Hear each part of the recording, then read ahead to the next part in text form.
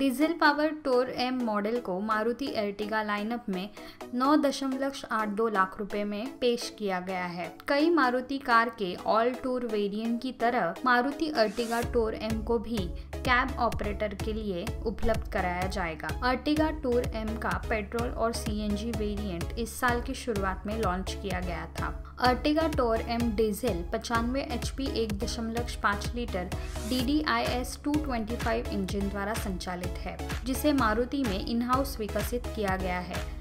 Engine 6 speed manual gear box के लिए आता है। ये कमर्शियल यूज़ के लिए होने के कारण अर्टिगा टोर एम में केवल 80 किलोमीटर प्रति घंटे की गति होगी।